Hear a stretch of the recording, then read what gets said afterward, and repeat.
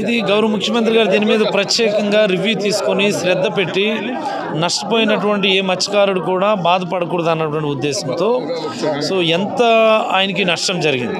Boat లేకపోతే వల ఇవన్నీ కూడా కాస్ట్ని ఎస్టిమేట్స్ వేసి eighty percent of the total cost will be given as compensation to that concerned fishermen family.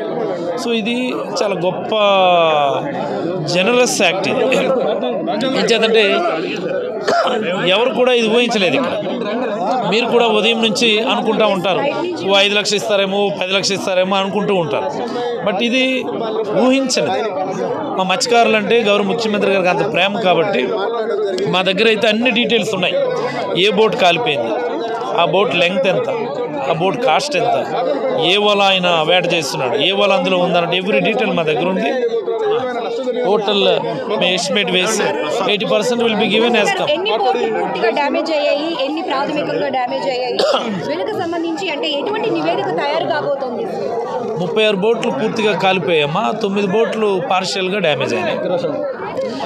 So cost analysis అనేది కలెక్టర్ గారి నేతృత్వంలో స్థానిక మత్స్యకార ప్రతినిధుల్ని ఇన్వాల్వ్ చేసే రియలిస్టిక్గా అందరికీ న్యాయం జరిగేట్టుగానే చేస్తాం. ఇందులో ఇదేం ఆకతాయిల ఇబ్బందులు అయితే మేము ఎదుర్కొంటున్నాము. ఎటువంటి సెక్యూరిటీ లేకపోవడం ఈ రోజు ఈ ప్రమాదానికి కారణమని కూడా చెప్తున్నారు. సార్ ఏమంటారు కొన్ని వందల వేల మంది ఇక్కడ ఉంటారు.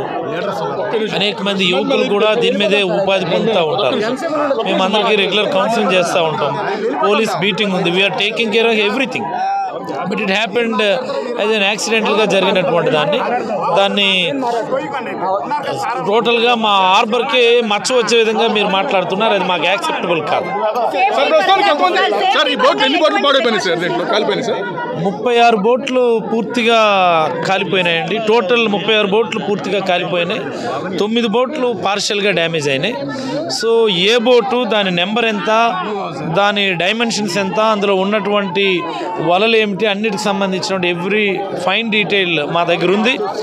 దానికి సంబంధించినటువంటి కాస్ట్ ఎస్టిమేట్స్ వేసి eighty percent of the total cost will be given as compensation to that concern family that will be given that to immediate ఇందులో ఎలాంటి లేట్ ఏం లేదు. ఎలాంటి ఆందోళన అవసరం లేదు. సంఘటన ఎందుకు జరిగింది అన్నటువంటి అంశం మీద పోలీసులు అయితే దే టేకెన్ వెరీ కీన్లీ ఒక స్పెషల్ టీం కాన్స్టిట్యూట్ చేసాం ఇప్పటికే కొంతమంది ఈ రాత్రి జరిగినటువంటి సంఘటనలో ఉన్నటువంటి ఇద్దరు ముగ్గురు వ్యక్తులను కూడా మనము రిమాండ్లోకి తీసుకోవడం జరిగింది ఇన్వెస్టిగేషన్ తీసుకోవడం జరిగింది.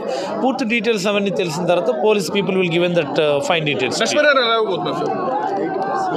For example for example మీరు ఉదయం నుంచి కూడా మీరు చూస్తూ ఉంటారు. ఒక్కొక్క బోటు తక్కువలో తక్కువ నలభై లక్షలు ఉంటుందండి అని చెప్పి మీకు మత్స్యకార సోదరులే మీకు చెప్పినారు. మీరు కూడా అదే వార్తలు కూడా ప్రచురించారు కూడా.